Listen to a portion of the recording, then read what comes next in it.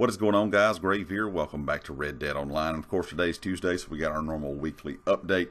This week we got a new sighting mission for Harriet. So the legendary animal this week will be uh, something that you'll have to get from Harriet. You'll have to go to Harriet if you are at least naturalist rank 5 and you will be able to do this sighting mission. This is a new alligator, the banded gator that is in Saint Denis. Uh, this alligator is supposed to have a taste for human flesh and be very aggressive. You also can choose to uh, of course, kill the alligator and skin it and take it to Gus to make a coat. It says this week you can craft any coat in Gus's store and get a reward of a free vest.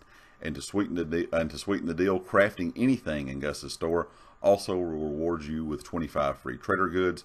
And if you uh, craft any trinket in Gus's store this week, you'll receive a reward of a free poncho.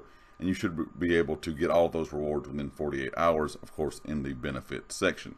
Also this week, the Wheeler Rawson & Co. catalog adds some new clothing items. The uh, Comstock boots, the Millard boots, the Heartland chaps, the uh, a new cardigan, uh, the Mitt Hill pants. Of course, there are some limited time items coming back as well. The Fernwater coat and the Hope Man vest. Also this week, uh, it says five gold bars off. Aspiring naturalists can knock five gold bars off the price of the Animal Field Guide legendary animal, animal map and sample kit. So it's pretty much five gold bars off the role itself. And also 30% off all novice and promising naturalist items and the improved bow.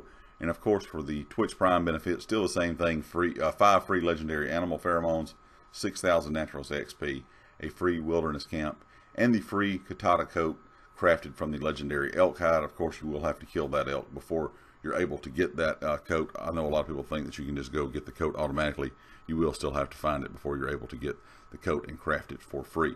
Um, that is pretty much it, guys. I know a lot of people may be a little bit disappointed. I was hoping for two new legendary animals out in the free roam. Of course, we only got the one new legendary animal, uh, which is a sighting mission for Harriet, which is still not bad. It's still a new animal, of course, in game. Leave me a comment with your thoughts, and of course, if you like the video, hit the like. If you haven't subscribed yet, please do so. Be sure to check out everything down in the description, GT Racing, the community Discord, and my Twitter. And be sure if you are a subscriber to click that bell icon in the top right corner. That way you can get notified when all my videos go live. And I'll catch you all next time. Peace.